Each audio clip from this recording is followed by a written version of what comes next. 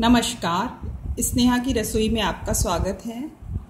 आज जो मैं बनाने जा रही हूँ, वो डिश नहीं है। इसको मैं बोलूँगी कि सजावट का सामान है या भगवान को जब हम हम चढ़ाते हैं कमल का फूल।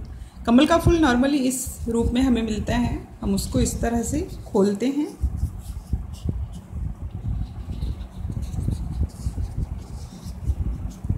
बहुत बार सब बोलते कैसे खोला जाता है? आप प्लीज़ बताइए। काफ़ी सावधानी से आप इसे आराम से खोल सकते हैं। बस ध्यान रखना है कि पत्ती नहीं टूटनी चाहिए।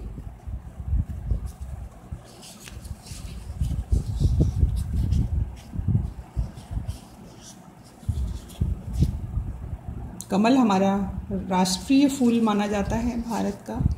इसे माँ लक्ष्मी पे चढ़ाया जाता है ज़्यादातर। भगवान विष्णु के हाथ में भी कमल का फूल रहता है।